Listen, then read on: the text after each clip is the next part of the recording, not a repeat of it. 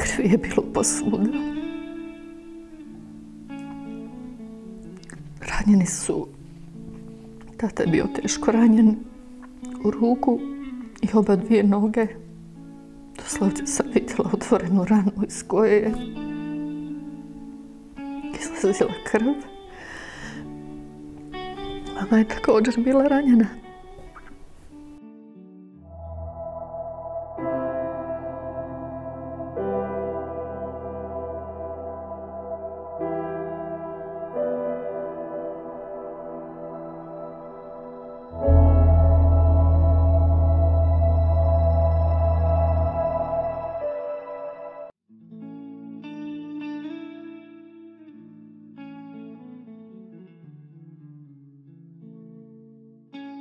Tata je bio građevinski radnik, znao je sve vezano za građevinske poslove i oko zidanja i kao armirač je imao kvalifikaciju, ali isto tako je bio u pravom smislu e, riječi čovjek koji doslovce što god je uzeo raditi sve mu je išlo od ruke. Tako da obiteljsku kuću je vlastitim rukama i uz pomoć dobrih ljudi, prijatelja i rodbine i sagradio i tu smo zapravo e, svi živjeli. A evo ja sam bila u pripremama za vjenčanje, zapravo smo trebali imati i dogovorenu, dogovoreno vjenčanje 8.6.1991. godine koje nažalost se nije niti, niti dogodilo.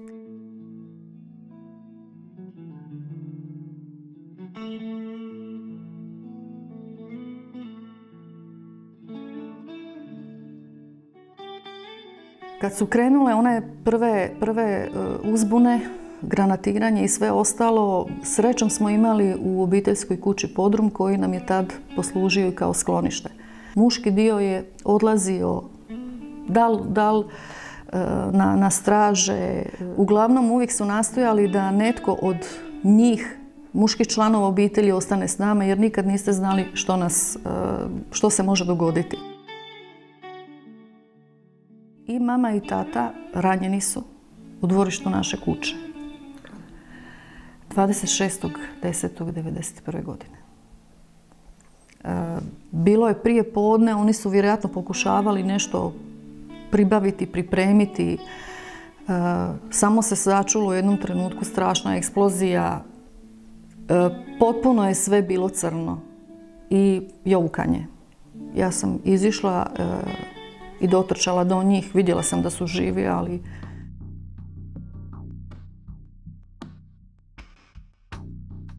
Sedamnaestog na večer je došao jedan od branitelja, Stevo Marčak, sa dvojicom još svojih suboraca, koji je rekao da se planira predaja grada, da se pregovara sa jugoslavenskom vojskom kako bi se pustili žene i civili, a svi oni koji su branitelji zapravo bi se trebali predati. To je bila nekakva cijena toga da se pusti e, civile da, da iziđu iz grada. To je ispred gdje autobus je, okretište autobusa je bilo. E, tu smo se svi našli, pa negdje ja mogu sad procijeniti, možda je bilo 1000-1500 ljudi, znači sa, sa mitnice koja je tamo došla i svi smo čekali što dalje. Znači negdje oko jedan sat smo tamo bili i onda smo se od tudu putili pješice prema sadašnjem groblju, takozvanom bugarskom groblju. I tu su već stajali tenkovi, jugo vojska i svi ostali i kolona je tu stala. Opet je se nešto čekalo. Primijetila sam da su bili i e, promatrači Prvo su, prvo su pozivali da se predaju branitelji. Oni su prvi morali izići. I dečki su jednostavno prolazili, neki su bili naoružani, neki nisu. Bili su onako obučeni za to vrijeme kako, kako je bilo u jaknama, neki su bili u takozvanim zengama. I negdje blizu šume, dakle iza groblja, su odložili oružje tko je imao sa rukama podignutim u zrak. Vojnici su ih pretresali. Uglavnom, nakon što su smatrali da evo, je taj određeni broj branitelja se predao, počeli su puštati ranjenike i djecu i, i starije žene.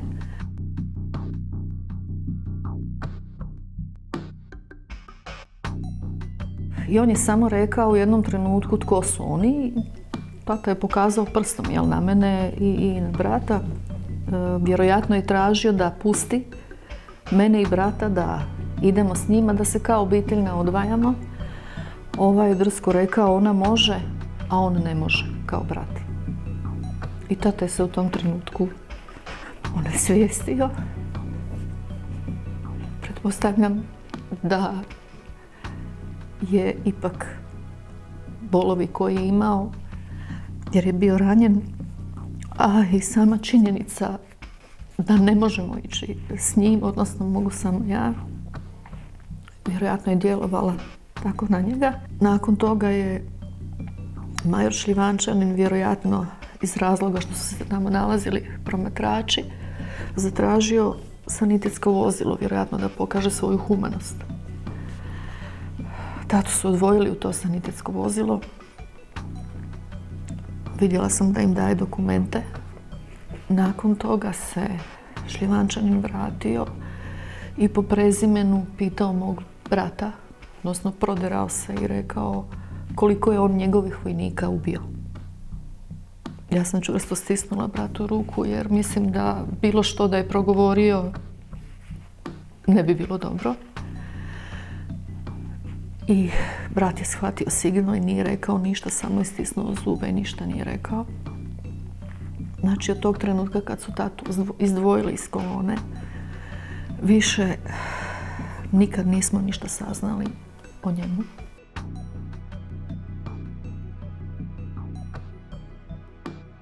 Mislim da su nas nakon toga dovezli negdje na autoputu, da li je to Bubanj potok bio koliko se sjećam, tu su također već bili e, autobusi sa prognanima i u jednom od autobusa sam našla majku.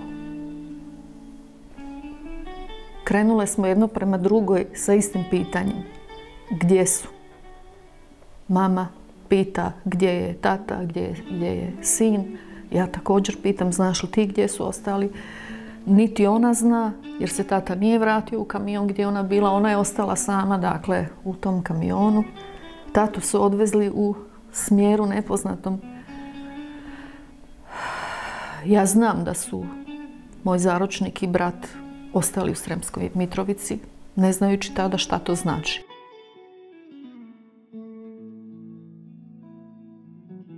Ušli su ponovno nekakva, nekakva vojna lica i ponudili zapravo da iziđemo iz autobusa, da je hladno, da možemo u tim okolnim stajama, zgradama koje su bile prespavati, da će nam biti toplije, jer će nam biti hladno. Nitko nije izišao iz autobusa, svi su se bojali. Tu noć na ovčari mi u autobusu, mi čujemo jauke, pucnjavu i sve ostalo. Ne čuje se, mislim, e, niste mogli čuti doslovce ni ljudi da dišu. Koliki je strah bio u nama. Tu noć smo preživjeli. Kažu konačno idemo u Hrvatsku. Mislim da smo prve poruke e, počeli dobivati e, u prvom mjesecu 1992. godine i mi smo mogli njima slati poruke i tad je već onako, hajde, bili ste mirniji. E, čak smo u par navrata dobili informaciju i da se tata nalazi u Mitrovici. A ja pretpostavljam, pošto brat dosta liči na njega, da ih je netko zamijenio. E, ja sam čak slala i poruke i u Sremsku Mitrovicu, računajući da će se javiti otac ako je tamo. Pa smo onda dobili saznanje zapravo da je on viđen u Negoslavcima. Ja sam preko Međunarodnog crvenog križa poslala i tamo poruku. Poruke su se vratile. Otac nije nikada.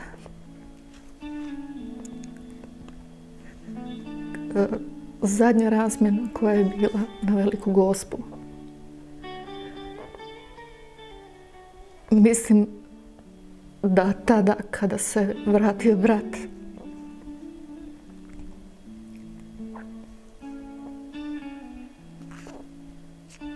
nakon devet mjeseci logora, ali ta zadnja razmjena. Mislim da smo tad postali svjesni da je to kraj. Mama je se nadala da će, da će pronaći i njena zapravo jedna od želja koju je imala prije nego što nas napusti, da se pronađe njen suprug, naš otac. I zapravo ih htjela i kad se pronađe da ih se sahrani zajedno. Međutim, nije se želja ostvarila.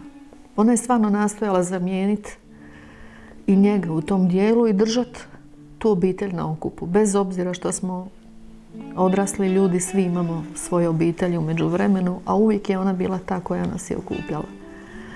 I zapravo kad je ona otišla, onda sam, smo stvarno svi spoznali da evo sad više zaista nikog nemamo. I sad kad vam dođe onaj prvi jedanajsti, trebate negdje zapaliti svijeću. Ja jako dugo nisam mogla nigdje zapaliti svijeću. Mislila sam ako zapalim svijeću kao da se odričem i gušim onu zadnju nadu, a možda će se negdje pojaviti. Ali sad je već to previše vremena da bi ta nada da je živ zaista postojala.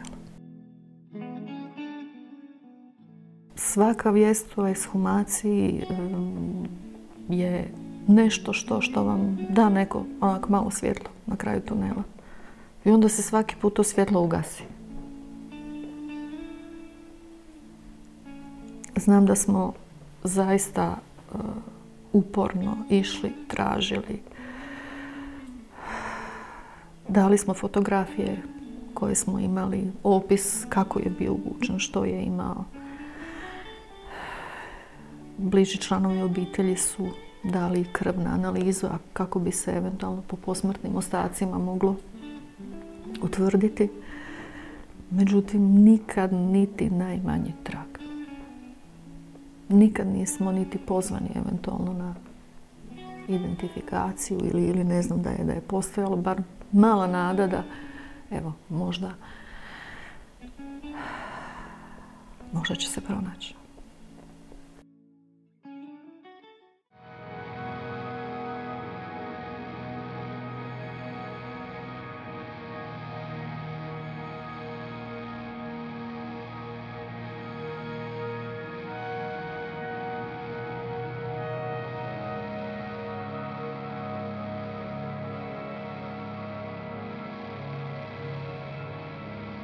Obitelji nestalih u domovinskom ratu se već 25 godina nose sa tugom i boli. Potresne i emotivne priče pratite svake nedjelje u 11.15 sati na portalu YouTube kanalu 24 sata.